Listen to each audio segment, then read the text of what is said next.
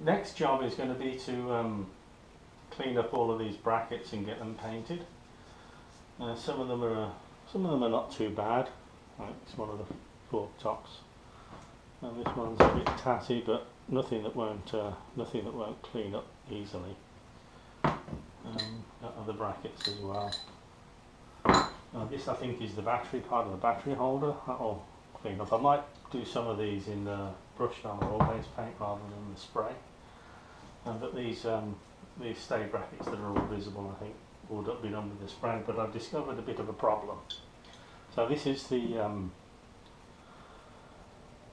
this is the swing arm uh, um, bar that the uh, axle I guess that the swing arm runs on and it has on each end of it the uh, there's the bracket that gets bolted on um, for the foot pegs. But the one that's actually attached to the bracket if you look at this has had a really horrible cobbly weld and repair done to it which is pretty nasty.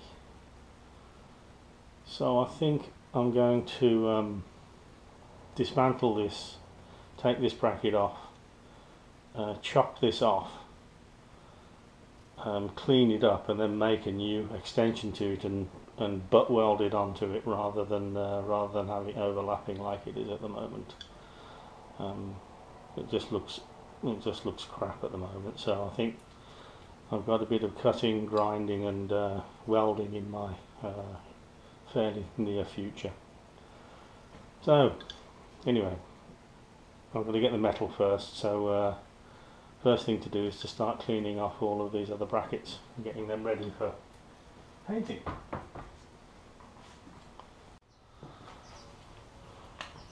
So we're nearly through this.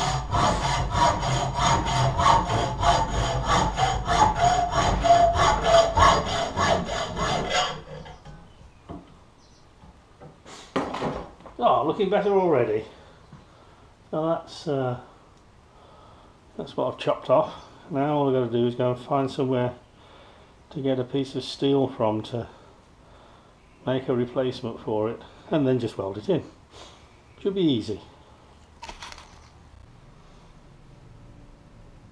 So chopped off the chopped off the offending uh, piece of bracket and got rid of that uh, horrible, horribly welded piece. I don't know if you can see that it's not actually a straight bracket that goes up at an angle so I'll have to replicate that. Um, and I've been and found a piece of plate steel. It cost me about two two pounds. Um, so I can uh, should be able to fabricate um, a new additional piece of the bracket out of that. Um, but it's going to be a lot of cutting and uh, shaping I think. Um, with a hacksaw. It'd be nice to have a plasma cutter, but I don't have one of those. It'd be nice to have a bandsaw, but I don't have one of those either. But what I do have is one of these. So it looks like that's going to be the tool of choice. So um, I'll show you this as it progresses. Uh, this is interesting. Just trying to work out why it had got that bend in the uh, in the bracket, and if we look at the uh, look at the drawing in the exploded part. It's actually got a dog leg bend in it. Um, but also it shows having two holes in the um, in the bracket as well. One of them is for the foot peg and I couldn't work out what the other one was for. If we look at it, um, I've got it placed on the bracket from the other side here. You can see that's where the um, the original uh, hole should be for the foot peg. And then well, that's the bit I've chopped off. But there's also this second hole here which is closer to this. I'm trying to work out what the heck that was for. Um, so I had a look online and this is why it's useful having a computer in the workshop. And I think what it's for is this is the bracket here. And I think it's where the wires from this brake rear brake light switch and the wires go through that hole into the uh, into the back of the uh, into the wiring harness that's running up the, the uh, frame here. So that's why there's two holes in it. So I shall have to put two holes in it um, and uh, I'm going to use this um, bracket from the other side as a template for uh, for what's going on with the um, uh, what shape to make the uh, the the insert piece. We'll see how we get on. We are back on the bench. Um, so this is the this is the bracket from the other side. Uh, this is the good part of the bracket from this side, and so that's what I've got to cut out of this piece of plate. So um, much hacksaw and uh, grinding to do. I'll let you know how this proceeds. So we've got it cut out. Um, and now I'm going to have a go with the uh, with the grinder at tidying it up and get it down to the lines. I'm going to show you all of this, but let's see how we get on. The safety specs on, covered in filler dust.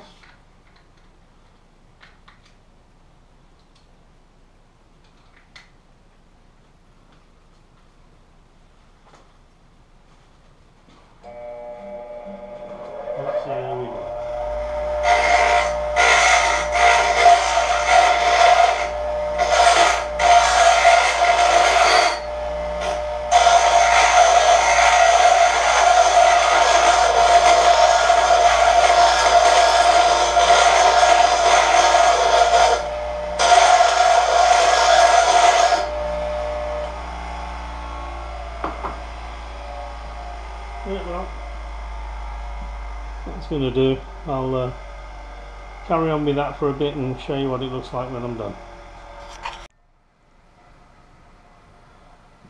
Well, I think that looks pretty good. That's the uh, plate I've made. I need to drill a hole in it, actually two holes in it, mark those, drill those grind this uh, edge so that and these edges so that we've got a bit of a V from each side and get it welded on. I think that's um, it's a job for tomorrow. As it's about 6:30, I'm gonna go home, gonna go in, feed the cat, have some dinner, and that can wait till tomorrow. and We'll see how we get on with welding it. Okay, so I've uh, made the extension piece. Um, I've formed it so that it's got the right dog leg in it, I hope. Ground it so that we got a V from both sides to be able to get some decent penetration. So now it just comes to welding it. So I'm going to tack the two ends and then um, check that it's all lined up properly and then uh, see if I can weld it. See if I can remember how to do that. Got it. Alright, here we go.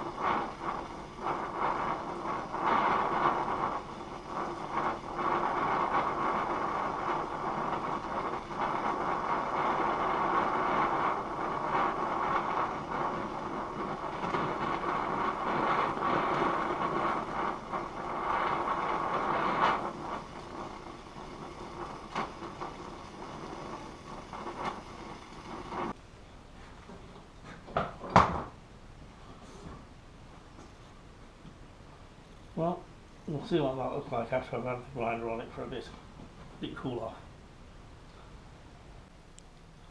Well, here it is done.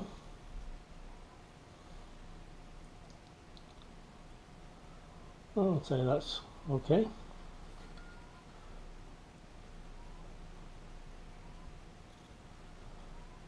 So quite, uh, quite, quite happy with that. So we'll um, we'll call that done, and uh, just need some paint on it now. But that looks significantly better than uh, than what I took off it.